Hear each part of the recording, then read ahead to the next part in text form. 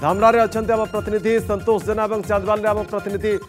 ପ୍ରକାଶ ମହାନ୍ତି ଅଛନ୍ତି ପ୍ରଥମେ ସନ୍ତୋଷ ଆପଣଙ୍କର ପ୍ରତିକ୍ରିୟା ନେବାକୁ ଚାହିଁବୁ ଏବଂ ଜାଣିବାକୁ ଚାହିଁବୁ ସେଠି କେମିତି ଆପଣ ଦେଖୁଛନ୍ତି ଭୀଷଣତା ବର୍ତ୍ତମାନ ପବନ ଏବଂ ବର୍ଷାର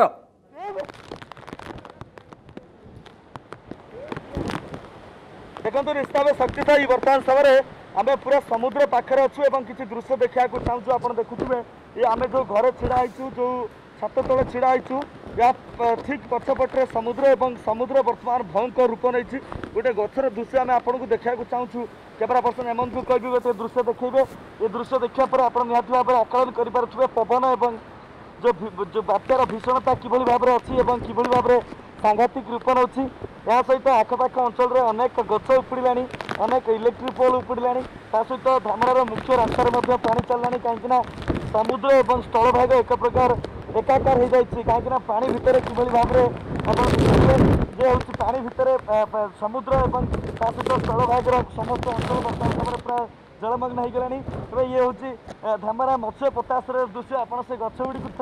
भल भाव में नजर पका कि अवस्था से गुड़िक बर्तमान समय में भांगा उपर कहीं बात्यार जो भीषणता बर्तमान समय जहाँ कहु ठीक आठटा पर किभ भाव में सांघातिक रूप ने धीरे धीरे आम समुद्र दृश्य देखा चाहूँ ଯାହା କିସମ ପରେ ମଧ୍ୟ ସମୁଦ୍ର ଦୃଶ୍ୟ ଆମେ ଆପଣଙ୍କୁ ଦେଖେଇବୁ ସମୁଦ୍ର ଚାଲିଛୁ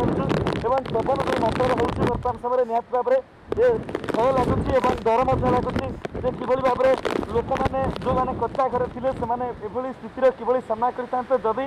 ସରକାରଙ୍କ କହିବା ଅନୁସାରେ ସ୍ଥାନାନ୍ତରିତ ପ୍ରକ୍ରିୟା ସଠିକ୍ ଭାବରେ ହେଇଥିବ ନିହାତି ଭାବେ ତାହେଲେ ସମସ୍ତେ ସୁରକ୍ଷିତ ଥିବେ କିନ୍ତୁ ଯଦି ସରକାରଙ୍କ କଥା ମିଛ ହୋଇଥାଏ ଏବଂ ସରକାରଙ୍କ କଥା କେବଳ ପ୍ରଚାର ପ୍ରସାରରେ ସୀମିତ ଥାଏ निहति भएर अनेक प्रकार समय कति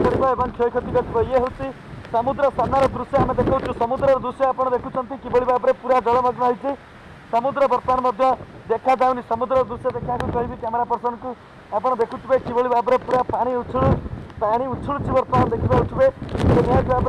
बर्ती सा आसु जति कुरा धाम्रा आएको अञ्चल